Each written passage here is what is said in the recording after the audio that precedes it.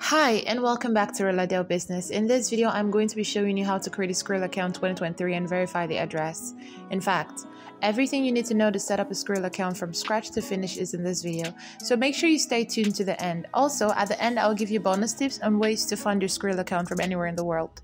Skrill is one of the online payment gateways that is mostly used by many people because PayPal is being restricted in some countries. As a result, many people tend to use Skrill as one of their online payment gateways. So, I'm going to be creating a Skrill account from scratch to show you how to go about it. But before we get started, go ahead and subscribe to Roladel Business so that you'll be the first person to get notified anytime we drop another interesting video like this. So let's get started.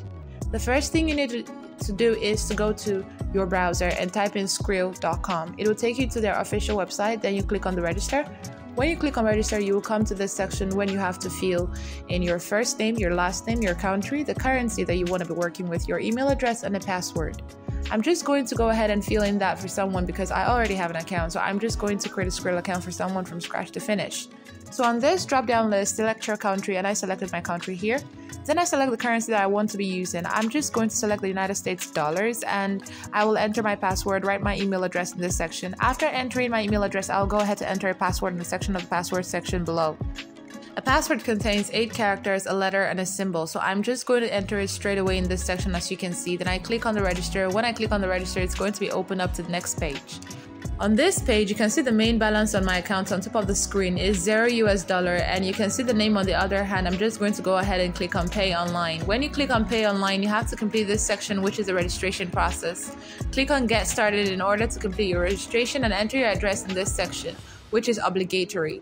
It is the second address that is optional. Then I enter my city on this box right here. After entering my city, I enter my postal code as well as my date of birth and my telephone number. I click on next. They will send me a verification code, which is 6 digits to my SMS. I'm just going to copy that verification code straight away on this section.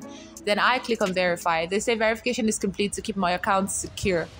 Create a 6 digit PIN, so just enter any number here, a number that you know that you can remember. On this section right here, in order to secure your Skrill account, so I'm just going to enter a 6 digit PIN on this section and I click on save.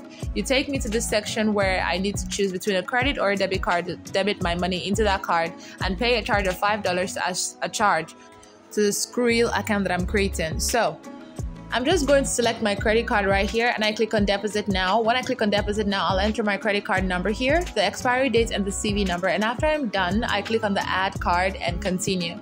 Then here I need to enter $5. I need to deposit $5 into the Skrill account in order to use it as a charge. Then here you need to select this. The money available is not to pay for, not to make payment for gambling sites. I select no.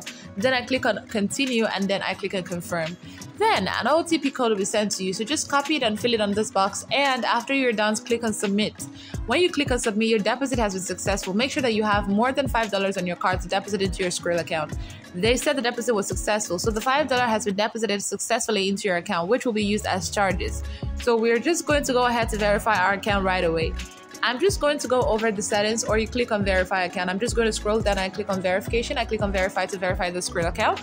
Here, you need to verify your ID. I'm just going to go ahead to click on take and upload webcam photo. I'm just going to click on it straight away. When you click on it, you agree to the use of facial recognition and biometric data.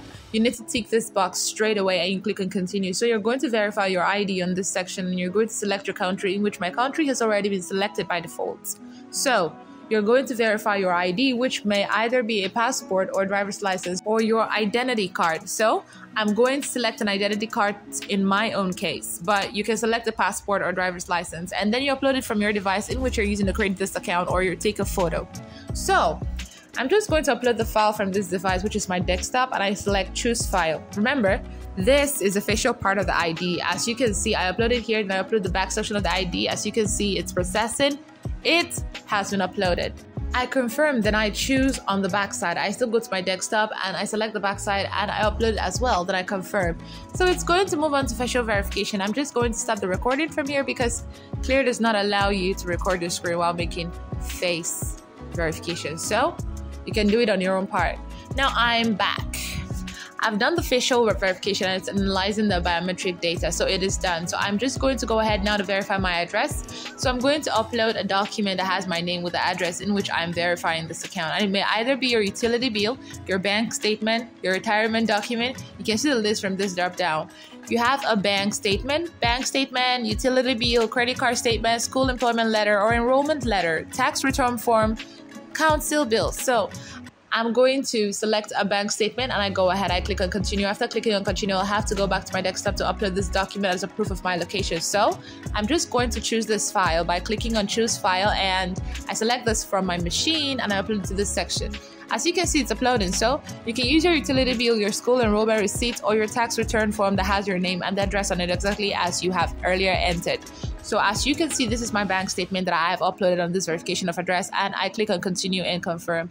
After I click on confirm, they say the address is submitted. They say we're currently experiencing a high demand for account verification. Delays of up to a few days may occur. We thank you in advance too. So after a few days, Skrill is going to send you a message that your account has been finally verified because they have a large number of verifications that they do on a daily basis. They say your address details have been submitted and you're being reviewed. You will receive an email if you're completed once your verification is complete. So if you successfully go through this process, that this is how your Skrill account will be created and you start using Skrill. So give me a thumbs up, subscribe to Relatable Business for more content like this. Thanks for watching and bye for now.